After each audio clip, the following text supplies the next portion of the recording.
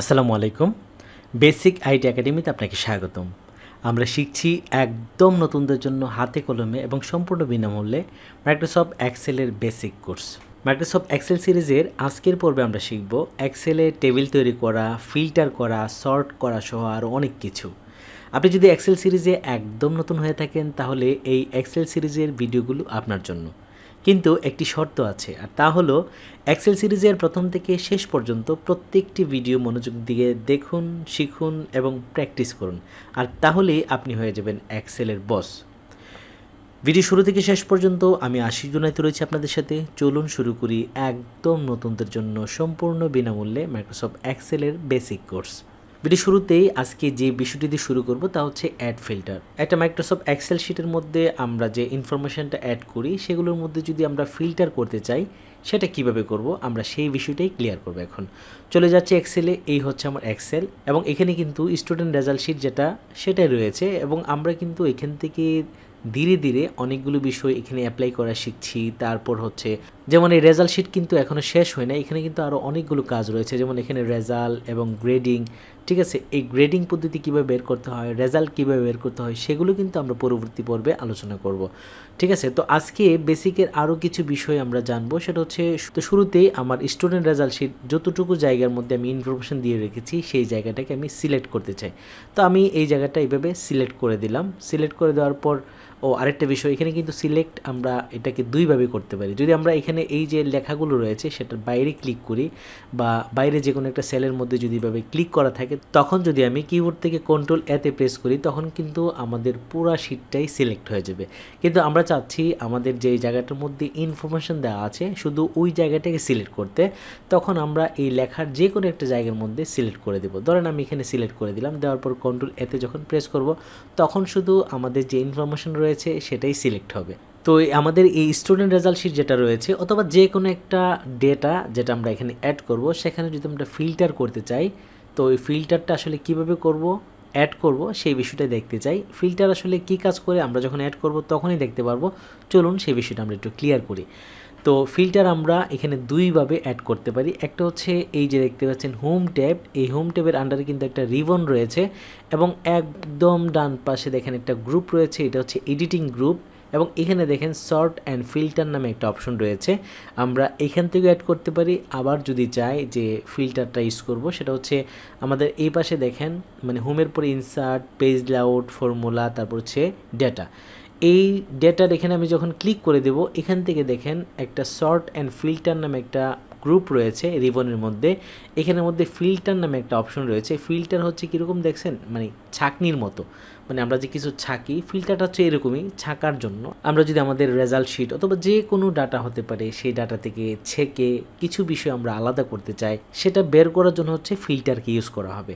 তো আমরা কিন্তু এখান থেকে ফিল্টার ইউজ করতে পারি। আবার চাইলে হোমের মধ্যে যে ডান পাশে যেখানে ফিল্টার রয়েছে, সেখান থেকে অ্যাড করতে পারি। তো আমি এখান থেকে ফিল্টারটা ইউজ করছি। এই যে ফিল্টার উপরে যখন আমি ক্লিক করে দেব, তখনই কিন্তু আমার যে ইনফরমেশন রয়েছে বা ডেটা রয়েছে, সেখানে কিন্তু ফিল্টারের একটা জায়গা অ্যাড হয়ে গেলো। এই যে দেখতে পাচ্ছেন আমাদের যে শিরোনামটা, যেখানে serial number roll number student name এখানে পাশে দেখেন ছোট ছোট একটা মানে এরোচেন যুগ হয়েছে। এটাই হচ্ছে ফিল্টার আমি যখন এখানে ক্লিক করব, তখন কিন্তু ফিল্টারের ইনফরমেশনগুলো আমি পাবো। তো এই ফিল্টার কীভাবে অ্যাড করব সেটা তো বুঝতে পারলাম। আবার যদি ফিল্টার বাদ দিতে চাই, তখন কিন্তু আমরা এইভাবে এই যেখান থেকে সিলেক্ট করে দেব। সিলেক্ট করে দিয়ে এই ফিল্টার মধ্যে যখন আবার ক্লিক করে দিব, তখন কিন্তু ফিল্টার চলে গেল। তো আমি এখান থেকে আবার সিলেক্ট করে দিচ্ছি। সিলেক্ট করে দিলাম এবং আরেকটা পদ্ধতি যেটা রয়েছে, সেটা হচ্ছে হোম হোম থেকে রিবন একদম ডান পাশে এডিটিং যে অপশন রয়েছে, এখানে শর্ট অ্যান্ড ফিল্টার একটা জায়গা রয়েছে। এখানে যখন আমি এরোচনেতে ক্লিক করে দিব, তখন দেখেন ফিল্টারের একটা অপশন চলে আসছে। এখানে ক্লিক করলে কিন্তু সেম কাজটাই আমরা করতে পারব। তো এখন আমাদের ফিল্টারের আসলে কাজটা কি, আমরা সেটা দেখতে চাই। তো আমরা দেখতে পাচ্ছি আমাদের রেজাল্ট শিটের মধ্যে কিন্তু ফিল্টার অ্যাড হয়েছে। এই যে প্রত্যেকটা লেখার নিচে এখানে একটা ফিল্টার রয়েছে। তো এখন এখানে দেখেন স্টুডেন্ট নেম যে স্টুডেন্ট নেমের মধ্যে আমি যখন এই ফিল্টার এরোচনেতে ক্লিক করে দিব, তখন আমাদের নিচে একটা অপশন চলে আসবে। এই যে দেখেন সিলেক্ট অল বা প্রত্যেকটা নাম যেটা রয়েছে সেই নামগুলো কিন্তু এখানে সিলেক্ট হয়ে গেল। যেহেতু আমি এই স্টুডেন্ট নেমের গড়টা সিলেক্ট করেছি, তাই এই যে নামগুলো আমি যেখানে লেখা রয়েছে, সেই নামগুলো এখানে শো করছে। তো আমি যদি চাই যে সিলেক্ট অল এই যে একটা টিক চিহ্ন দেওয়া আছে, এই টিক চিহ্নটার মধ্যে ক্লিক করে দিই তখন কিন্তু সবগুলো আনসিলেক্ট হয়ে গেল। ঠিক আছে? তো আমি চাচ্ছি এখান থেকে শুধু এই যে আরোহা জান্নাত এবং ফরিদা আক্তার এই দুইজনের ইনফরমেশনটা এখানে দেখতে যে তারা আসলে কত পেয়েছে। এটা হবে কি? যদি ধরেন আপনার একশো স্টুডেন্ট রয়েছে, এখানে তো আমি পাঁচজন স্টুডেন্ট দেখাচ্ছি, তেমন কোনো সমস্যা নেই। যখন একশো, দুইশো পাঁচশো স্টুডেন্ট হবে, তখন আপনাকে যদি ফিল্টার করে বের করতে হয় যে আরোহা জান্নাত আসলে কত পেয়েছে বা এই নামের মেয়েগুলো বা এই নামের ছেলেগুলো কত পেয়েছে আমি, তাদেরটা শুধু জানতে চাই। তখন আমরা এখান থেকে এই যে ধরেন আরোহা জান্নাত সিলেক্ট করলাম, ফরিদা আক্তার সিলেক্ট করলাম, তারপরে হচ্ছে কামাল মিয়া সিলেক্ট করলাম, মাঝখানে কিছু বাদ দিলাম। এখন আমি এখান থেকে যখন ওকে করে দিব ওকেতে ক্লিক করার সাথে সাথে দেখেন ফিল্টার হয়ে আমি যাদেরকে সিলেক্ট করেছি শুধু তাদের ইনফরমেশনটা কিন্তু এখানে চলে আসছে। তো আমি যদি এখানে কন্ট্রোল জেটে ক্লিক করি তখন কিন্তু আমি আবার আগের জায়গায় চলে আসলাম। ঠিক আছে, তো এটা কিন্তু সব জায়গায় করা যায়। ধরেন এখানে আপনার রোল নাম্বার দেওয়া আছে মানে পাঁচশো জন স্টুডেন্টের একটা আপনি রেজাল্ট শিট তৈরি করেছেন। এখান থেকে আপনি চাচ্ছেন যে একশো মানে তিন নাম্বার যে রয়েছে বা একশো পাঁচ নাম্বার যে রয়েছে, আমি তো এখানে ছোট দেখাতে পারব না, বড়গুলো, বড় সংখ্যা দেখাতে পারব না। তো আমি যখন এই সিরিয়াল নাম্বারের যে বা রোল নাম্বার যে জায়গাটা রয়েছে, এখান থেকে যদি আমি এই যে এরোচিনে রয়েছে, এখানে ক্লিক করে দিই এবং এখান থেকে যদি আনসিলেক্ট করে, আমি এখানে যখন আমার একশো স্টুডেন্ট থাকবে, তখন কিন্তু পুরো একশো এখানে দেখাবে লম্বা করে মানে এখানে সিরিয়ালটা দেখাবে। তো আমি এখানে ধরেন চাচ্ছি যে পাঁচ নাম্বার যা রোল নাম্বার সে আসলে কি পেয়েছে? বা তার রেজাল্টটা আসলে কি, সেটা কিন্তু আমি এখান থেকে খুব সহজেই ফিল্টারের মাধ্যমে বের করতে পারব। যখন এই পাঁচ নাম্বার সিলেক্ট করে দিব এবং এখান থেকে ওকেতে ক্লিক করে দিব, দেখেন শুধু পাঁচ নাম্বার যা রোল নাম্বার তার ইনফরমেশনটি কিন্তু আমি এখানে পাচ্ছি, ঠিক আছে? তো আবার যখন আমি ব্যাকে চলে আসব কন্ট্রোল জেটে ক্লিক করলে কিন্তু আমি আবার আগের জায়গায় চলে আসব।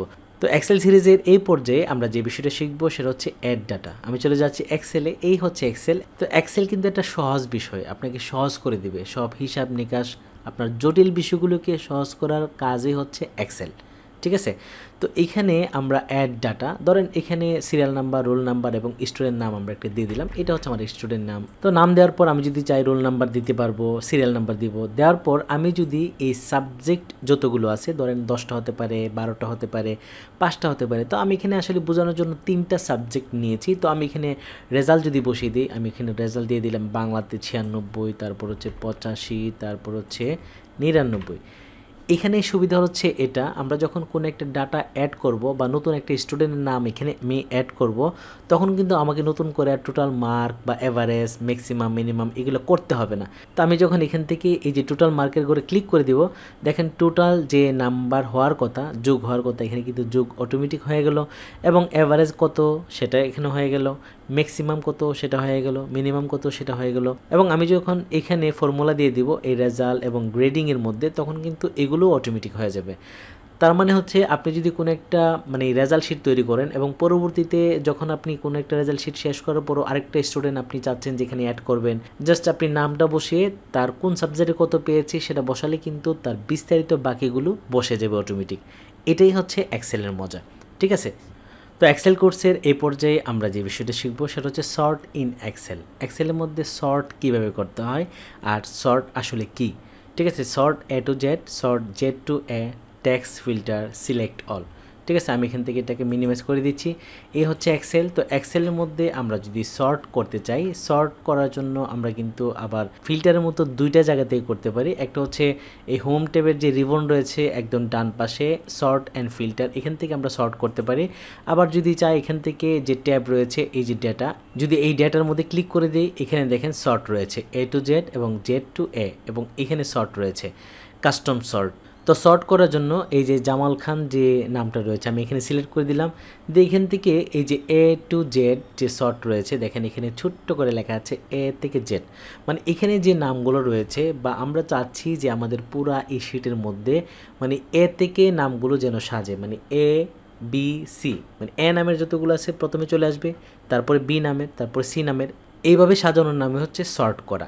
তো ধরেন এখানে যে শুরু আছে, তারপরে কে, তারপর এ কিন্তু আরও পরে। তো এখানে যদি একশো নাম হয়, আমি চাচ্ছি যে এ নামের যারা যারা রয়েছে, অথবা আপনি কোনো কারণে এখান থেকে এ নামের কোনো একটি স্টুডেন্টকে খুঁজতে যাচ্ছেন যে এ নামের যারা যারা আছে, তাদেরকে আমি আলাদা করতে চাই, তখন কিন্তু শর্টের কাজটা আমাদের সামনে চলে আসবে।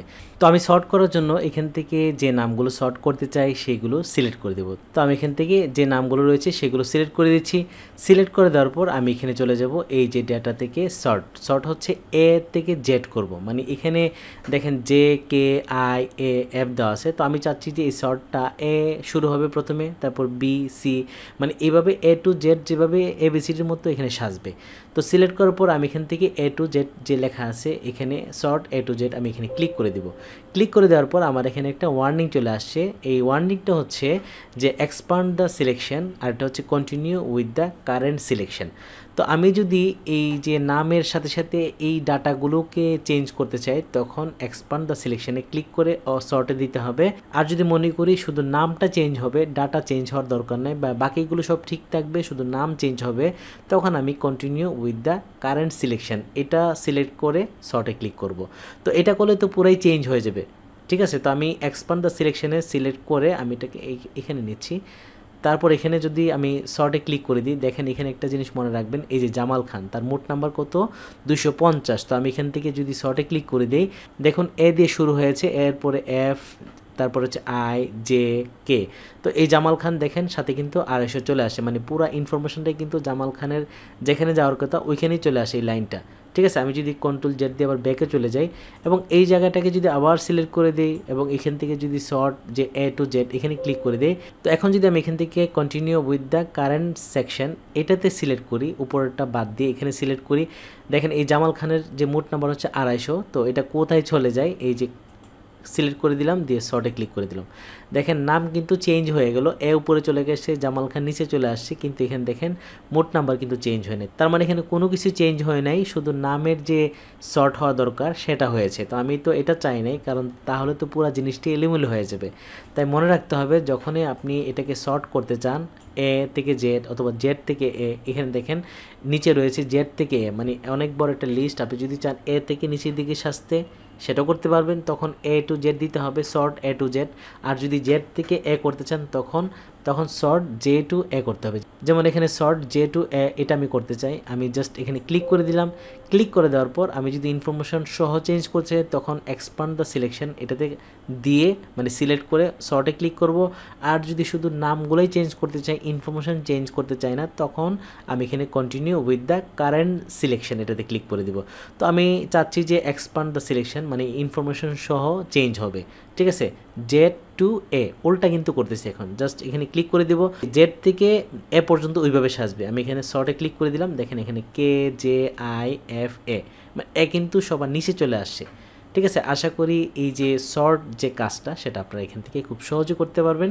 এক্সেল কোর্সের এই পর্যায়ে আমরা ট্যাবের কিছু ভিন্ন বিষয় শিখতে চাই। চলুন এক্সেলে চলে যাই। এই হচ্ছে আমাদের এক্সেল এবং এখানে আমরা যদি হোম ট্যাবে চলে আসি এটা হচ্ছে আমাদের হোম ট্যাব এবং হোমের মধ্যে আমি বলেছিলাম এটা হচ্ছে রিবন এবং এই রিবনের মধ্যে কিন্তু অনেকগুলো গ্রুপ রয়েছে। এক, দুই, তিন, চার, পাঁচ, ছয়, সাতটা গ্রুপ রয়েছে। প্রথম যে গ্রুপ সেটা হচ্ছে ক্লিপবোর্ড তারপর হচ্ছে ফন্ট তারপর হচ্ছে অ্যালাইনমেন্ট তো আমরা শুরুতে এই ক্লিপবোর্ডের মধ্যে কী কী আছে সেটা দেখতে চাই। দেখেন এখানে কাট কপি তারপর হচ্ছে ফরম্যাট প্রিন্টার তারপর হচ্ছে পেস্ট তো কাট কিন্তু আমরা জানি কপিও জানি তারপর আমি একটু বলে দিচ্ছি, আমি মনে করছি যে আপনি একদম নতুন, কিছুই জানেন না। যদি আপনার জানা থাকে তাহলে এই জায়গাটা একটু স্কিপ করে সামনে চলে যান। এখানে দেখেন কাট রয়েছে। আমি যদি চাই যে এই যে এখানে লেখাটা রয়েছে মানে এই লেখাটাকে স্টুডেন্ট রেজাল্ট সেটা আমি সিলেক্ট করে দিলাম এবং এখান থেকে যদি কাট করে দেই, তখন কিন্তু এই লেখাটা চলে যাবে। আর কপি যদি দেই, তখন এখান থেকে কপি হবে। এখানে লেখাটা ঠিকই থাকবে। আমি আবার অন্য জায়গায় যেখানে রাখব বা পেস্ট করব, সেখানে যাবে।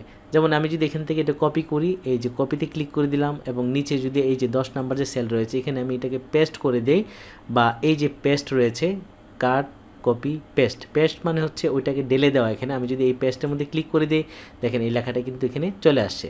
ঠিক আছে? তো আমি যদি কাট করে নিয়ে আসতাম, তাহলে কিন্তু ওই লেখাটা এখানে থাকতো না। মানে কাট করলে হচ্ছে এখান থেকে একদম চলে যাবে এবং যেখানে রাখব, সেখানে চলে যাবে।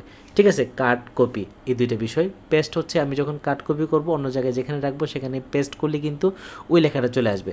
তো এই ক্লিপবোর্ডের মধ্যে আমরা এখন যে বিষয়টা দেখব, সেটা হচ্ছে এই ফরম্যাট প্রিন্টার এই ফরম্যাট প্রিন্টারটা কি? কোনো একটা লেখাকে বা কোনো একটা ডিজাইনকে যদি আমরা আরেকটা লেখার উপরে ডিজাইন করতে চাই মানে এই লেখাটা যে ডিজাইন আছে, সেই ডিজাইনটা যদি আমরা অন্য একটা লেখার মধ্যে ডিজাইন করতে চাই, তখন এই ফরম্যাট প্রিন্টার দিয়ে কিন্তু করতে হবে। ধরেন এই লেখাটাকে আমি সিলেক্ট করে দিলাম, এই যে এখান থেকে সিলেক্ট করে দিই, পুরো লেখাটাকে সিলেক্ট করে দিই সিলেক্ট করে দিলাম, এবং আমি এটার ফন্টটাকে চেঞ্জ করতে চাই। ফন্ট চেঞ্জ হচ্ছে লেখার ডিজাইন চেঞ্জ করতে চাই। তো এখন এই ফন স্টাইলটা যেটা দেওয়া আছে, আমরা যদি এখান থেকে চেঞ্জ করি, এই যে দেখতে পাচ্ছেন, পরবর্তী যে ফন যে গ্রুপ রয়েছে, এখান থেকে আমরা ফন চেঞ্জ করতে চাই। তো এই ফন গ্রুপের মধ্যে কিন্তু আমরা যখন এই যে ফন একটা এরোচিনে রয়েছে, আমি যদি এখানে ক্লিক করে দিই, দেখেন এখানে কিন্তু অনেক ফন্ট রয়েছে। আমরা যদি নিচের দিকে যাই, দেখেন অনেক ফন্ট রয়েছে। তো এখান থেকে যে ফন্টটা আমাদের পছন্দ, আমরা কিন্তু ওই ফন্টটাই দিতে পারব। ধরেন আমি এখান থেকে অনেকগুলো ফন্ট রয়েছে, আমি এই ক্লিক করার সাথে সাথে কিন্তু এখানে লেখার যে স্টাইলটা বা ফন্ট যে ডিজাইনটা সেটা কিন্তু চেঞ্জ হয়ে যাচ্ছে। তো আমি এখান থেকে এই ডিজাইনটা দিতে চাই, একটু আনকমন জাস্ট ক্লিক করলে কিন্তু ডিজাইনটা লেখার মধ্যে চলে আসলো। ঠিক আছে? এই যে দেখতে পাচ্ছেন যে কীরকম ডিজাইন হয়ে গেল। তো এই লেখার ডিজাইনটা যদি আমি অন্য লেখার উপরে নিতে চাই, তখন আমি এই লেখাটার উপর একটা সিলেক্ট করে দিব। সিলেক্ট করার পর দেখেন ফরম্যাট প্রিন্টারে এইটার মধ্যে একটা ক্লিক করে দিব। ক্লিক করে দেওয়ার পর আমি যদি এখন এই যে নিচে যে লেখাটা রয়েছে জাস্ট এটার মধ্যে ক্লিক করি, দেখেন এই লেখাটা কিন্তু ওই ডিজাইনটা হয়ে গেল। আমাকে সিলেক্ট করতে হলো না বা অন্য ডিজাইনটা ওইখান থেকে মানে খুঁজে বের করেও করতে হলো না। জাস্ট মনে হয়েছে যে এই ডিজাইনটা আমার অন্য জায়গায় প্রয়োজন জাস্ট ক্লিক করে দিলাম, হয়ে গেল। তো এখন যদি আবার অন্য একটা লেখার মধ্যে ক্লিক করি, তখন কিন্তু এটা হবে না। ধরেন এই লেখাটাকে যদি আমি কপি করি, এই যেখান থেকে কপি করি কপি করে আবার নিচের লাইনে লিখে দিই, লিখে দিলাম, আবার এখানে লিখে দিলাম।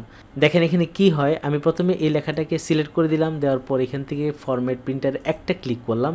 তখন আমি যদি নিচের যে লেখাটা রয়েছে, সেটাকে এই ডিজাইনটা করতে চাই জাস্ট একটা ক্লিক করলে কিন্তু এই লেখাটার ডিজাইন হয়ে গেল। আর এটাতে ক্লিক করলে কিন্তু এটা হচ্ছে না। এখানে একটা বিষয় মনে রাখতে হবে যে আমি যদি মানে অনেকগুলো লেখার মধ্যে একই ডিজাইন দিতে চাই, তখন আমাকে যে কাজটা করতে হবে, ধরুন এটাকে আমি সিলেক্ট করে দিলাম, দিয়ে এখান থেকে ফরম্যাট প্রিন্টারের মধ্যে ডাবল ক্লিক করতে হবে। আমি যদি ফরম্যাট প্রিন্টার উপরে ডাবল ক্লিক করি মাউস দিয়ে ডাবল ক্লিক করার পর এখন যতটা লেখার উপরে আমি ক্লিক করব, সবগুলো কিন্তু একই ডিজাইন হতে থাকবে। যতক্ষণ পর্যন্ত আমি না এই ফরম্যাট প্রিন্টারের মধ্যে ক্লিক করে এই সিলেকশনটা না সরাবো। ঠিক আছে? এখন আমি যে কোনো লেখার উপরে ক্লিক করব, এই ডিজাইনটা হয়ে যাবে হয়ে যাবে। ঠিক আছে? যার মধ্যে ক্লিক যেখানে ক্লিক করব সেখানে কিন্তু এই ডিজাইনটা হয়ে যাবে। তো আমি এখান কন্ট্রোল জেড দিয়ে দিয়ে আবার জায়গায় চলে আসি। এই যে জায়গায় চলে আসি, জায়গায় চলে আসি। তো এটা বাদ দেওয়ার জন্য আবার যখন এই ফরম্যাট প্রিন্টারের মধ্যে একটা ক্লিক করে দিব, তখনই কিন্তু এই কাজটা এখান থেকে চলে যাবে। তো আশা করি এই ক্লিপবোর্ডের মধ্যে যে চারটা কাজ cut copy format printer paste এটা আপনারা খুব সহজেই পারেন। বা পারবেন। তো এর পরবর্তীতে যে কাজটা শিখব সেটা হচ্ছে ফন্ট মানে আমরা যখন এই এক্সেলের মধ্যে বা ওয়ার্ডের মধ্যে বা পাওয়ার পয়েন্টের মধ্যে এই ওয়ার্ড নিয়ে যখন কাজ করব, তখন কিন্তু এই ফন্টের কাজে অনেক বেশি। মানে একটা লেখাকে কালার করা, লেখার পিছনে কালার করা সাইজ বড় করা বোল্ড করা ইটালিক করা আন্ডারলাইন করা, তারপর হচ্ছে বর্ডার করা এবং ফন্ট সাইজ করা ফন্ট স্টাইল করা, এই কাজগুলো কিন্তু আমরা এই ফন্ট থেকে করতে পারব। তো এই কাজটা করার জন্য আমরা এখানে একটা লেখা নিয়েছি। এই লেখাটাকে একটু সিলেক্ট করে দেই। এই যেখান থেকে যদি আমি সিলেক্ট করে দিই, সিলেক্ট করে দেওয়ার পর এখানে চলে যাওয়া হচ্ছে এই যে বোল্ডের মধ্যে। ঠিক আছে, এই লেখাটাকে যদি আমরা বোল্ড করতে চাই, বোল্ড মানে হচ্ছে একটু মোটা মোটা ডিজাইন। ঠিক আছে, আমি যদি এখান থেকে এটাকে একটু উপরে নিই, নিয়ে এখানে বোল্ড করি, দেখেন লেখাটা কিন্তু একটু মোটা মোটা হয়ে গেল। ঠিক আছে, আবার যদি এই লেখাটাকে একটু মানে ইটালিক করতে চাই, ইটালিক হচ্ছে একটু বাঁকা ডিজাইন। জাস্ট এখানে ক্লিক করলে দেখেন লেখাটা একটু বাঁকা বাঁকা হয়ে যাচ্ছে। আবার যদি এটাকে বাদ দিতে চাই, এই আয়ের মধ্যে ক্লিক করলে কিন্তু এটা বাদ যাবে। দেখেন ক্লিক করলাম, বাঁকা হলো ক্লিক দিলাম, আবার বাঁকা স্টাইলে কিন্তু চলে গেল। এবং কোনো একটা লেখাকে যদি আমি আন্ডারলাইন দিতে চাই জাস্ট এখানে এই ইউর মধ্যে ক্লিক করতে হবে মানে সিলেক্ট থাকা অবস্থায়। যখন আমার লেখাটা সিলেক্ট থাকবে মানে আপনি সিলেক্ট সারা দিলে তো বুঝবে না যে আসলে আপনি কোনটার উপরে অ্যাপ্লাই করতে যাচ্ছেন। অনেক লেখা থাকতে পারে, তাই অবশ্যই আপনাকে লেখাটাকে সিলেক্ট করে নিতে হবে। তো এই স্টুডেন্ট রেজাল্ট শিটটাকে আমার সিলেক্ট করা আছে এবং এখান থেকে এই যে ইউতে যখন আমি ক্লিক করে দিব, দেখেন লেখার নিচে কিন্তু একটা আন্ডারলাইন চলে আসছে। আবার যদি আন্ডারলাইন বাদ দিতে চাই জাস্ট এখানে এটার উপরে ক্লিক করে দেবো ইউর উপরে, তখনই কিন্তু আন্ডারলাইন চলে যাবে এবং বোল্ড বাদ দিতে চাইলে আবার এই বোল্ডের উপরে ক্লিক করে দিলে কিন্তু বোল্ড চলে যাবে। বোল্ড তো আর সব জায়গায় প্রয়োজন হবে না, কোনো একটা লেখাকে যদি আপনি হাইলাইট করতে চান, তখন এটাকে বোল্ড করতে হবে। ঠিক আছে? তো আমরা যদি এই লেখাটার সাইজ বড় করতে চাই, ধরেন এই স্টুডেন্ট রেজাল্ট এখন যে মানে সাইজ রয়েছে, এটা হচ্ছে এগারো সাইজ আমি যদি এটাকে চাই যে বড় করতে, তখনও কিন্তু আমাকে এটাকে সিলেক্ট করতে হবে। তো আমি সিলেক্ট করে দিলাম, তো আমি যদি চাই এই যে ফন্ট সাইজের একটা জায়গা রয়েছে, সেটা হচ্ছে হোম রিবন এবং ফন্ট গ্রুপের মধ্যে ফন্ট সাইজ আমি যদি এই এরোজনেতে ক্লিক করে এখান থেকে সাইজ দিয়ে দিই যে বারো, চোদ্দ, ষোলো, আঠারো, বিশ, বাইশ, যতটুকু সাইজ দিতে চাই আমি কিন্তু সেটা করতে পারব।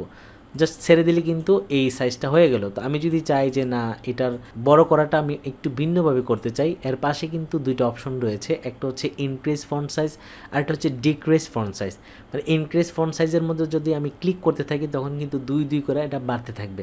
এবং ডিক্রিজ ফন্ট সাইজে যখন ক্লিক করব, তখন কিন্তু দুই দুই করে কমতে থাকবে। দেখেন আমি এখান থেকে ইনক্রিজ যে ফন্ট সাইজ রয়েছে, এখানে যখন আমি ক্লিক করব, দেখেন এখান থেকে ছত্রিশ, আটচল্লিশ অনেক বড় হয়ে যাচ্ছে, ঠিক আছে? আবার যদি এটাকে ছোট করতে চাই জাস্ট এখানে ডিক্রিজ ফন্ট সাইজের মধ্যে যখন ক্লিক করতে থাকব, দেখেন লেখাগুলো কিন্তু ছোট হতে থাকবে, ছোট হতে থাকবে, ছোট হতে থাকবে। তো আমি এটাকে বড় করে রাখি। এই ছাব্বিশ সাইজ করলাম তো আমার যদি মনে হয় এই লেখাটাকে কালার করতে, তখন আমি কীভাবে করব? কালার করার জন্য জাস্ট এই লেখাটার উপরে সিলেক্ট করে দেব, দেওয়ার পর এখানে দেখেন মানে ফন কালার রয়েছে জাস্ট আমি এখানে সিলেক্ট করে দিলাম এবং এখান থেকে এই যে কালার চুজ করে দেব। এখানে দেখেন বিভিন্ন কালার রয়েছে। আপনি আসলে এক কালার করতে চান নাকি মানে হালকা হালকা কালার করতে চান? এটা হচ্ছে সলিড কালার এটা হচ্ছে হালকা হালকা কালার আপনি আসলে কোনটা চান? জাস্ট এখান থেকে আপনার পছন্দ অনুযায়ী একটা কালার এখান থেকে দিতে পারবেন। আর যদি মনে করেন যে সলিড কালার তখন আপনি এখান থেকে সলিড কালারগুলো দিতে পারবেন। তো আমি এখান থেকে রেড কালার করে দিলাম। দেওয়ার পর এখন যদি মনে হয় যে না, এই যে আমার লেখাটা, এটাকে আরও হাইলাইট করতে চাই মানে এখন তো রেড কালার দেওয়া আছে। আমি যদি এটাকে আরও হাইলাইট করতে চাই, তখন আমি কি করব? তো সেই কাজটা করার জন্য জাস্ট এখানে সিলেক্ট করা অবস্থায় আমি এখান থেকে চলে যাব হচ্ছে ফিল কালার এই ফিল কালারে যখন আমি এরোচনিতে ক্লিক করে দেবো ফিল মানে হচ্ছে ফিল আপ করা, তো এটা নিচটাকে যদি আমি কালার করতে চাই ফিল হচ্ছে মানে ফন কালার হচ্ছে পুরো লেখাটাই কালার হয়ে যাবে, আর ফিল কালার হচ্ছে এটা নিচে একটা কালার হবে। তো সেটা করার জন্য আমি যদি একটু নিচের দিকে যাই, এই লেখাটাকে অবশ্যই সিলেক্ট করে দিতে হবে, তা না হলে কিন্তু বুঝবে না আসলে আমি কতটুকু জায়গায় করতে চাচ্ছি। তো আমি এখান থেকে এই লেখাটা সিলেক্ট করে দিলাম, দেওয়ার পর এই যে দেখতে পাচ্ছেন ফিল কালার এখান থেকে আমি একটা কালার দিতে চাই। কোন কালারটা নিচে দিলে লেখাটা আরও ফুটবে, আমি কিন্তু সেই কালারটা এখান থেকে চুজ করে দিতে পারব এখান থেকে মনে হচ্ছে ইয়েলো কালারটা দিলেই লেখাটা আরও বেশি হাইলাইট হয়ে যাচ্ছে। ঠিক আছে, আমরা কিন্তু খুব সহজেই মানে কোনো একটা টাইটেল বা কোনো একটা লেখাকে স্পেশালি হাইলাইট করার জন্য এখান থেকে ফন্ট কালার চেঞ্জ করে দেব, তারপরে ফিল কালার দেব, এই কাজটা কিন্তু আমরা খুব সহজে এখান থেকে করতে পারব। ঠিক আছে?